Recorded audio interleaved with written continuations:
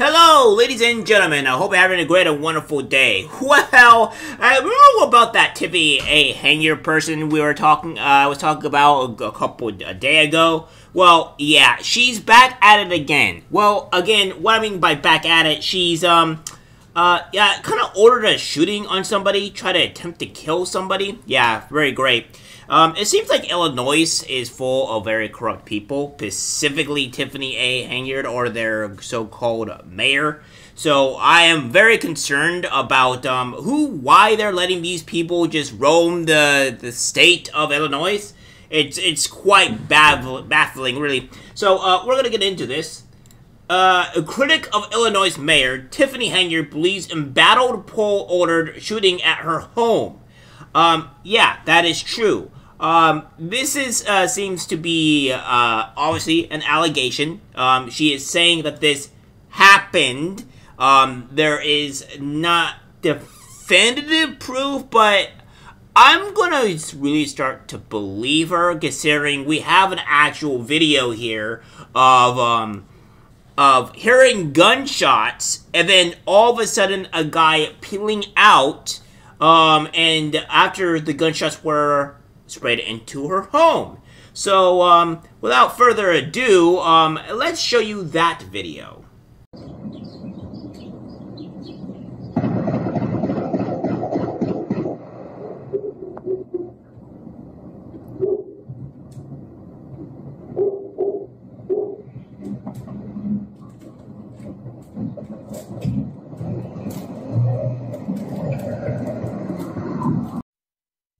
Yeah, so that is looking pretty suspicious. Now, obviously, this can be a video of any place, so, um, yeah, but this is what is alleged. This is what, um, the critic is saying. So, without further ado, let's go further into the article.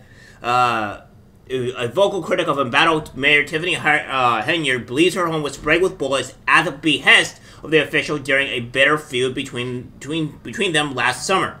Tar two cars belonging to tenants of former village of Dolton trustee Valeria Stubbs, a retired member of the Cook County Sheriff's Office, were riddled with at least nine shots last July. The rage, she believes, stemmed from her public attacks on Henyard, who has been accused of plundering the debt-ridden Illinois town's coffers to pay for lavish travel, dinners, and personal indulgences. Asked if she believes Henyard 40 was behind the shooting, Stubbs didn't hesitate. Absolutely, she told the Post. Stubbs said Henyard was personally menaced her at her home several times prior to the incident, the first during a snowstorm last winter.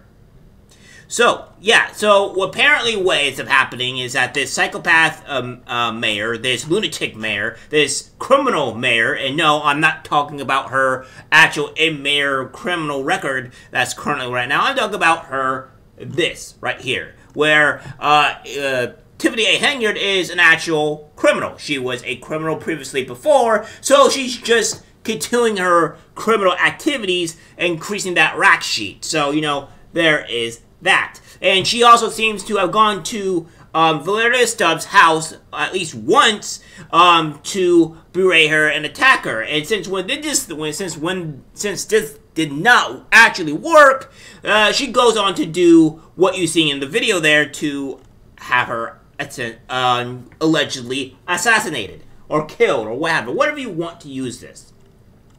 At the time, Stubbs had accused the mayor of hiring a registered sex offender as a village code enforcement officer and publicly demanded he be removed from his position. Henyard and her team did not respond to calls for comment on the post Monday, and I'm going to show you this clip of um, her doing just that. Yes, that's right, guys. This woman did not just do all the other crimes that was mentioned here, or that I said that she has done. No, she has also um, hired a sex offender. And it's... Uh, I I covered this uh, uh, before on my on my um, on my channel. However, there's a lot of new people here, and some of them were asking questions from my last video, and I want to answer some of those questions here. So, without further ado, here's the clip.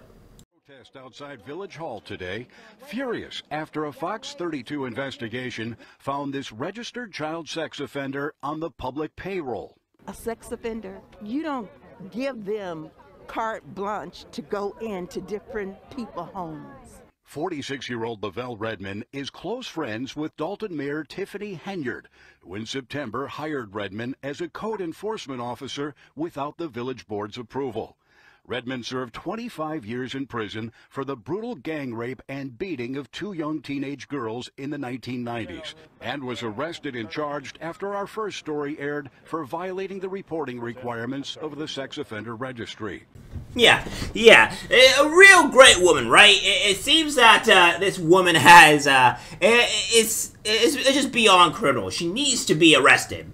Uh, it goes on to say here that uh, soon after Henyard posted a bizarre video of herself personally shoving snow from Stubbs' driveway, this is what it looks like when you pull up on your haters. A smiling Henyard states, Guess what? I am there for all my haters. It doesn't matter, because I am the mayor of all of Dolton, the good, the bad, and the ugly, and even the hateful. Clearly confused, Stubbs emerges from her home and appears briefly on camera. Henyard, she said, told the others she had to call the village to have the snow cleared. Snow cleared. I never called her to come, she explained. She was just harassing me. I went to the next board meeting and told her to stop lying. Several months later, after an unsuccessful recall, effort Stubbs helped to organize Henyard again came to her property with an intimidating caravan of police and city workers. The retired deputy said, I wasn't home and they rang all the doorbells of me and my tenants, asking where I was. She said, they called me and told me where they were all these people outside. I called Henyard, but she didn't answer. Stubbs again went to board a meeting to confront the mayor during a public com- comment session. I wanted on record that this woman was coming to my house and harassing me, she said. I told her not to come to my house again under any circumstances. Two months later, Stubbs woke up around 6.30 a.m. to a barrage of gunshots. She went outside and comforted a sh- shaken bystander who had been waiting for the bus nearby at the time. Stubbs later went to the back of her home and saw two of her tenants' cars strapped with bullet holes and shell casings on the ground.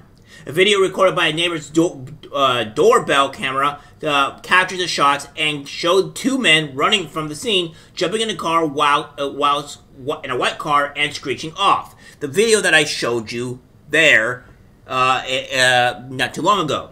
Stubbs said she believes Henyard was behind the incident. She reported the shooting to local police, but said the department is stocked with the mayor's allies. They refused to give me the police report, she said, and I haven't heard anything since. We don't trust the police here. Yes. So, um, for some of the people that were asking, what are the police doing? Well, the police are under uh, Tiffany A. May, uh, uh, A. Henyard's uh, rule. Um, she is um, organizing uh, allegedly uh, murder attempts, and um, the police will not help you if she is against you. Yeah, that's right. So if you need help and the police and you are against Tiffany Henyard or you've done anything such as oh I don't know maybe don't serve uh, serves her tenants food or her enemy's food or whatever and you need help the police will not come and help you. Yes, that is the reality of this of this absolute madman criminal and she just needs immediately to be arrested. That that's what needs to happen. The residents of the neighborhood are so afraid they now tell each other where they are going to go, where they are going for outings and notify neighbors when they get home. Stubbs said. Henyard, a failed bur- burger joint owner, has has burst into the spotlight for antics as mayor, including dressing as fictional drug kingpin Nino Brown for the 1901 crime classic New Jack City during a board meeting and having a DJ blast Rihanna "Bitch Better Have My Money" during the proceeding. Yes, yes, this is the type of person we're dealing with, guys. This this psychotic individual, this criminal, yes. She sounds very, um, very great.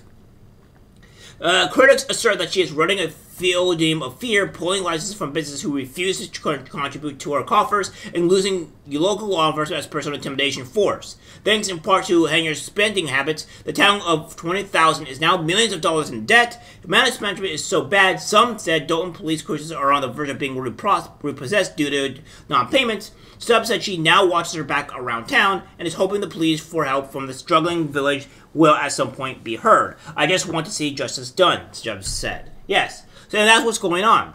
And she is obviously uh, did things that would um, be a problem for the average uh, for the average person here, and um, she's also you know where she has come done is that she uh, was going to be recalled. As you can see here, she was going to be recalled, and that was stopped by a judge. So that being said, that's not really good. So, um, uh, so uh, the judge is in it. The whole uh, there's a whole bunch of bad actors in this area because they are aligning with Tiffany Henyard either through fear or massive payment.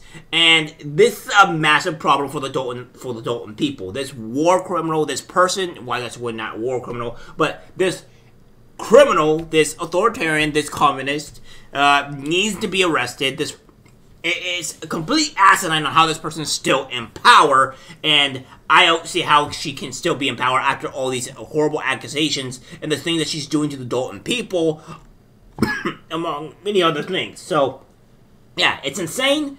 Um, so there you guys have it. That is the news. There's still a lot more information with her as well. Monday, coming Monday, I will give more information about this psychopath here, this criminal. So um, please bear in mind I'm working my best, but I'm trying to do um, each video individually, so that way you guys have videos to watch instead of watching a whole video about the whole thing. So yeah. Alright guys, that's it for the video. Let's try to share. As always, take care. I'm disgusted uh, by what I see in public. Even people closest to us can't be trusted. Cause it's algorithmic disease, the social media.